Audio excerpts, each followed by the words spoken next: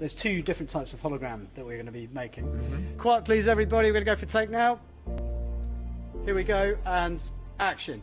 Even now, as the war is raging, we continue the digital transformation of our state. We need to use next generation technologies. We need to make it feel like he's more in the room.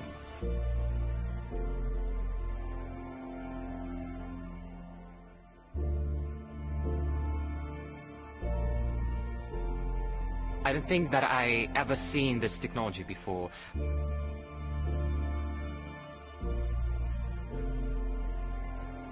And my question to you. Go for it.